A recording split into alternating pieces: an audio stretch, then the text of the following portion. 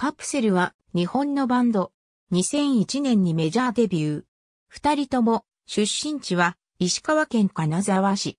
1997年に東京都でカプセルを結成。2001年に CD デビュー。音楽プロデューサーである中田康隆とボーカルの越島敏子による音楽ユニット。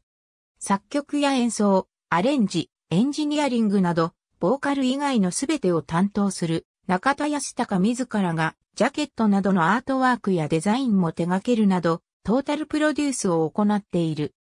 ただし、デビューマキシシングル、桜収録の恋をしました。3枚目マキシシングル、東京喫茶収録の待ちぼけ、4枚目マキシシングル、ミュージックコントローラー収録のブラウニーは、ボーカル、越島敏子が作詞を手掛けている。2007年、アルバム、フラッシュバックが iTunes ストアエレクトロニックチャートにおいて1位を獲得、総合チャートにおいても1位を獲得している。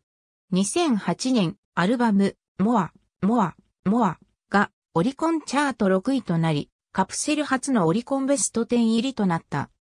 2009年、初のベストアルバム、FLASH BEST も、オリコン週間チャート7位、CD デビュー10周年となる2011年のアルバム、 WORLD OF FANTASY が、オリコン週間チャート3位となった。また、中田ヤスタカがサウンドプロデュースをしている Perfume は、アルバム、 GAME、JPN やシングル、 love the world、ワンルーム・ディスコなどで、オリコンチャート初登場1位にランクインしている。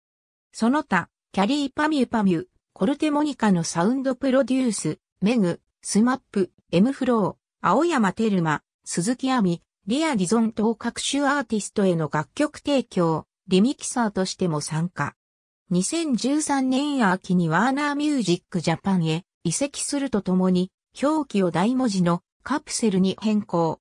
2021年6月、6年ぶりに新曲をリリースし、アニメーション映画、シドニアの騎士愛紡ぐ星の主題歌と挿入歌を担当する。6枚目、キャンディーキューティーには、タワーレコード購入特典 CD、トーンクッキングがつく。7枚目、レトロメモリーの初回プレス版には、スタジオジブリ描き下ろしイラストカードがつく。iTunes アルバム購入特典楽曲、レインボーは、カプセル名義での最後の楽曲となった。